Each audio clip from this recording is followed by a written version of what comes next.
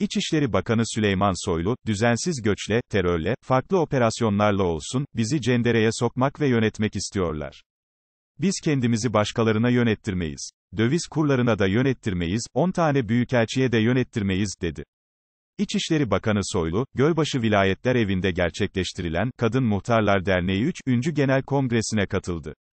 Burada konuşan Soylu, bizim kültürümüzde, gündelik hayatımızda sıkça kullandığımız bir duamız vardır, iyi ve yararlı bir iş yapan birini duyduğumuz zaman, Allah sayılarını arttırsın, deriz. İçişleri Bakanlığı olarak, aynı duayı kadın muhtarlarımız için de her zaman yaptığımızı, samimiyetle ifade etmek isterim. 2004 yılında sadece 117 kadın muhtarımız vardı, bugün ise kadın muhtar sayımız 1123'tür.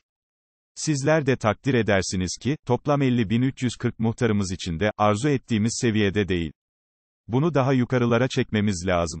Öte yandan, tüm muhtarlarımızda lise mezunu oranı %16, kadın muhtarlarımız içinde ise %35,3'tür, yüksekokul ve lisans mezunu olanların oranı tüm muhtarlarımızda %2,7, kadın muhtarlarımızda ise %13,9'dur.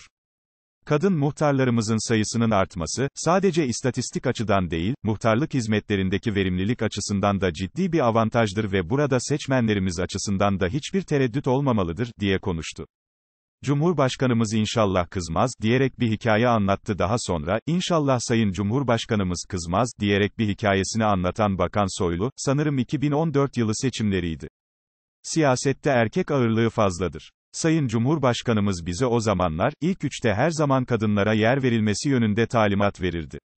Bir büyükşehir belediye başkanı adayımız, listede kadınlara ilk onda çok az yer vererek, meseleyi kendi başına hallettiğini düşünüyor.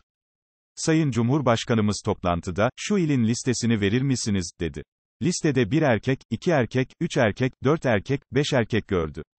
Bunun üzerine Cumhurbaşkanımız, şu beş erkeğin adını çıkarıp yerine kadın ekleyin, dedi. Bu listeyi kim yazdı, dedi. Ardından da, ben hakkımı kadınlardan yana kullanıyorum, dedi.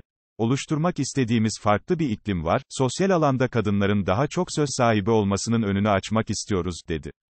Muhtarlar için, yıllık izin hakkı, çalışması yapıyoruz, Soylu, hali hazırda 85 kadın mülki idare amirinin olduğunu ve bunların 53'ünün 15 Temmuz sonrasında göreve başladığını belirterek, keza 2010 yılında, bakanlık bütçesinden destek sağlanan kadın temalı dernek projelerinin sayısı 2, yardım tutarı da 145 bin TL'ye Bunu her yıl katlayarak arttırdık ve şu anda 2021 yılı için destek verdiğimiz kadın temalı proje sayısı 25, destek miktarı da 3 milyona yakın. Son 10 yılda destek verdiğimiz bu tarz proje sayısı toplam 199, verdiğimiz proje destek tutarı da 15 milyona yakındır. Dolayısıyla bu ve benzeri adımlarla, aslında oluşturmak istediğimiz farklı bir iklim var, tıpkı mazimizden verdiğimiz örnekler gibi, sosyal alanda kadınlarımızın daha etkin olmasının, daha çok söz sahibi olmasının, kadınlarımızın vicdanının, gayretinin, becerilerinin gündelik hayatımıza daha çok yansımasının önünü açmak istiyoruz. Özellikle muhtarlarımızın talepleri doğrultusunda yaptığımız ve Sayın Cumhurbaşkanımızın bizzat öncülük ettiği, geçen muhtarlar buluşmasında da kamuoyuyla paylaştığı yeni düzenleme çalışmamızda, bu yönde adımlarımız var, bunlardan birisi de hem muhtarlarımıza bir aylık, yıllık izin hakkı, hem de kadın muhtarlarımıza doğumdan önce ve sonra, analık izin hakkı, verilmesi düzenlemesidir, ifadelerini kullandı. KADES indirme sayısı 2,6 milyon, ihbar sayısı 230 bin, Bakan Soylu, özellikle kadın muhtarları, bazı temel projelerinde yanlarında görmeyi arzuladıklarını işaret ederek, bunlardan en önemlilerinden birisi, en iyi narkotik polisi anne, projemizdir. Yaptığımız saha araştırmaları, gençlerin uyuşturucuyu çoğunlukla evlerinde kullandığını, uyuşturucu kullanan gençlerin annelerinin mesle